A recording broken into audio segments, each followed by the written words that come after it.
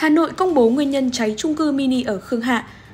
Sau 7 ngày xảy ra vụ cháy trung cư mini Khương Hạ làm 56 người tử vong, ngày 19 tháng 9, Viện Khoa học Hình sự Bộ Công an đã có kết luận về nguyên nhân vụ hỏa hoạn thảm khốc này. Kết luận giám định cho thấy điểm xuất phát cháy nằm ở khu vực giáp tường phía nam, cách tường phía đông khoảng 2 đến 3 mét thuộc tầng 1 bên trong khu trung cư mini.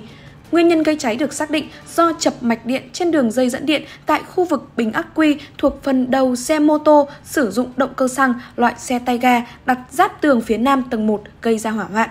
Có nghĩa là nguyên nhân gây cháy không phải do xe máy điện. Lửa sau đó cháy lan vào khu vực cáp điện, các hộp công tơ điện gắn trên tường ở tầng 1 và cháy lan ra xung quanh dẫn đến vụ hỏa hoạn kinh hoàng. Trước đó, cơ quan chức năng đã xác định 56 người tử vong và 37 người bị thương trong vụ cháy.